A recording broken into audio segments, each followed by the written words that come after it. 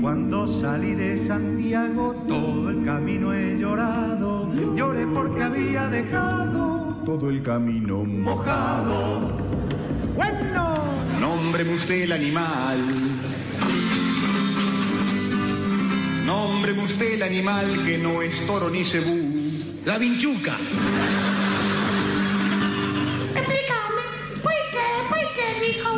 La, la gallinita dijo Eureka porque estaba muy contenta. Claro, Estaba contenta, muy contenta. muy contenta. Sí. Estaba chocha. El negro baila que baila sin descansar. Que dijo la profesora. Que moviera las manitos. Moviera las caderas. Dijo la profesora. Que moviera el esternocleidomastoideo. Ahora que cayó el muro de Berlín, nosotros nos preguntamos, ¿fue error de los burócratas? ¿Error de la doctrina? Error del arquitecto. No paramos de bailar, nuestros labios se atraían y empezamos a hablar de epistemología. Los jóvenes inventan palabras cada día, se ve que ahora lo llaman epistemología. Qué bonito mi amor, qué bonito mi amor, hacer cada día, hacer cada día, invito los dos, la epistemología. Y ahora el más podrá ser igual que cualquier ser humano. No echaré de menos el mal.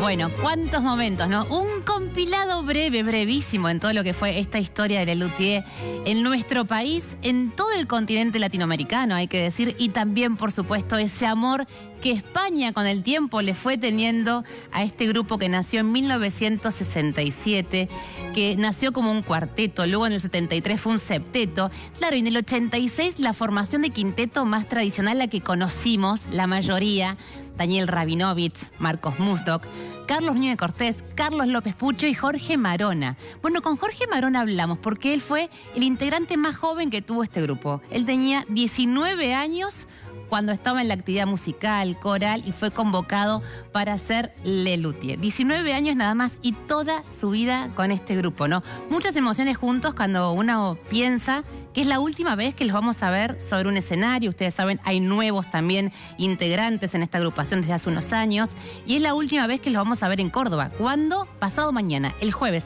Se presentan en Plaza de la Música para hacer este adiós definitivo con el público de nuestra ciudad y nuestra provincia. Mucha gente ya, por supuesto, está reservando ese momento para vivir así la última vez de Lelutier por esta ciudad.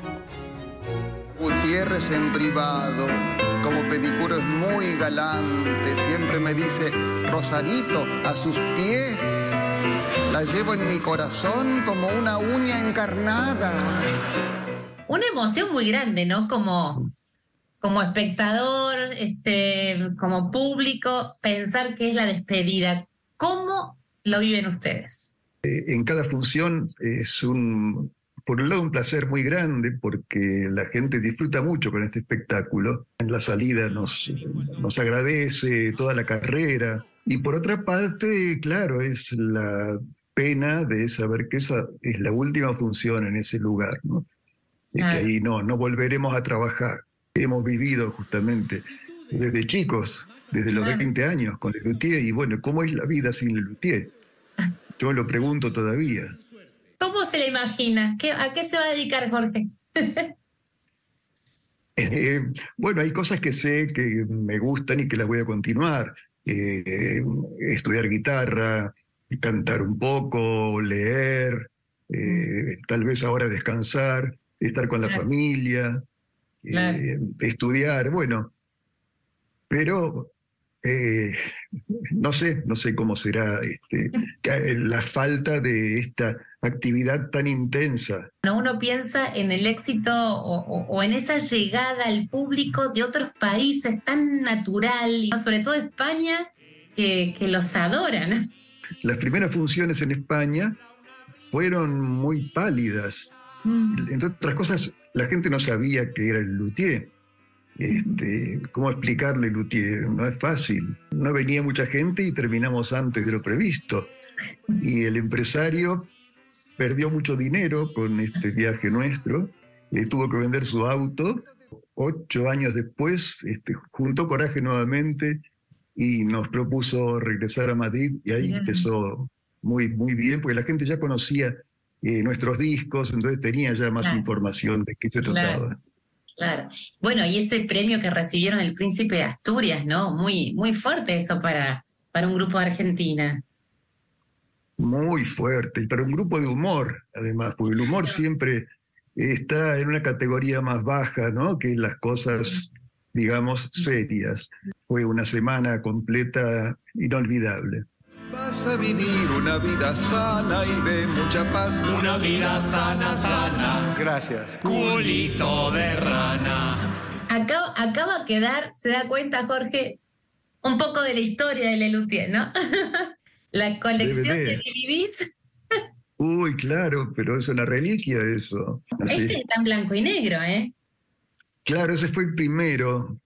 Sí, sí, del 77. Sí. Mirá Éramos qué muy jóvenes. Viejos fracasos. Eh, mu- mucho pelo, mucho... Era la época. ¿Hay algún Sí, espectáculo que le tenga más cariño que otro? Eh, uno muy importante eh, de- que marcó cierto crecimiento en, en el grupo fue Luterapia. No es el cuerpo, es la mente. La mente. Si quiere que me lamente, me lamento.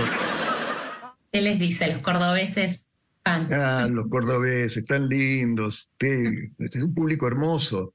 Eh, lo vamos a extrañar, seguro, muchísimo.